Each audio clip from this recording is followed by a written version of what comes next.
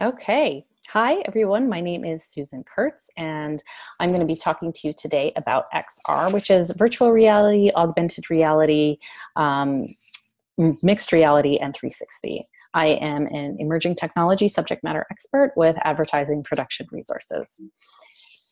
So here is our agenda for our class. And we're unit one, we're going to talk about a little intro about what it, it is we're talking about. Um, unit two, we're going to talk about the importance of VR and, and this new medium. Uh, number three, we're going to talk about the production and how it applies to advertising production. And number four, we're going to talk about some of the challenges. So let's dive right in.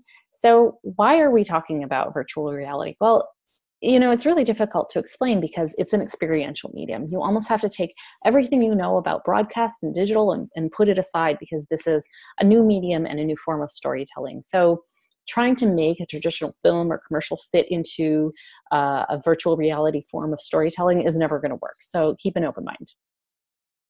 Now, the purpose of VR is to really replace your reality with something new, like a computer generated environment. And it could be a game you're playing or some world you're walking around in. Or it could be, you know, something that's playing all around you. But the idea is to really trick your brain into thinking that that's your new reality. And how do they do this? Well, they do this by taking over your sight. So much like we use headphones to take over your sense of sound, you know, we use a headset to take over your vision. And it all started actually with the Air Force as part of their flight training program and their flight simulator. So obviously, it's much easier and cheaper to have pilots practicing and flying and, and shooting things and ejecting and crashing, hopefully not, um, on a simulator rather than on a multi million dollar aircraft. So that's a place where virtual reality makes a lot of sense.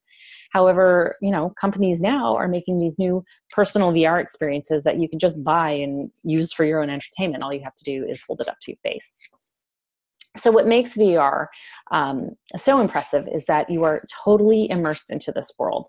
So like with, with, the headphone example i used when you can't hear anything else other than the music you're listening to with vr you're essentially blindfolded and dropped into this entire new world with whatever the artist decides to create